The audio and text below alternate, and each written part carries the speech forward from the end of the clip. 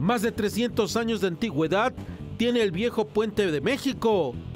Ubicado en la prolongación Reforma a la altura de la Junta Auxiliar de la Libertad, esta construcción es uno de los vestigios arquitectónicos que fue factor de desarrollo de la ciudad de Puebla durante la época colonial. Uno de los puentes más antiguos que subsisten.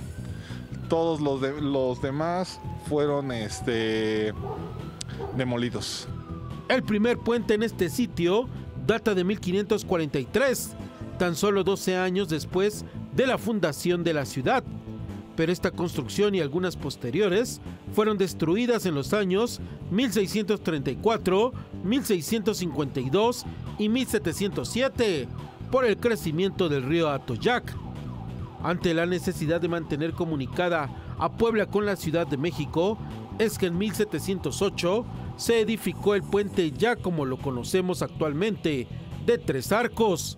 Sin embargo, trascendió que más de 100 personas, sobre todo de origen indígena, perecieron durante su construcción, por lo que durante siglos se le conoció como el Puente de las Ánimas.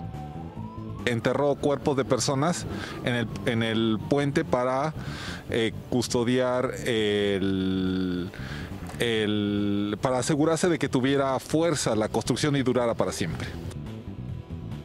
Y esta nomenclatura fue reforzada por las historias que se popularizaron y en las que se decía que de noche se escuchaba a los trabajadores fallecidos laborando bajo el puente.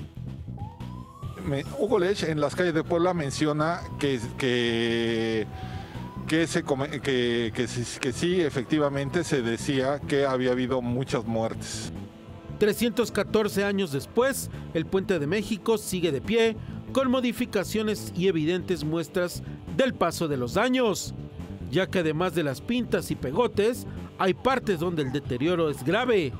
En esto radica la urgente necesidad de restaurarlo y mantenerlo en óptimas condiciones, ya que aunque fue construido para el paso exclusivo de carretas, este puente continúa siendo funcional y parte importante de la historia de nuestra ciudad.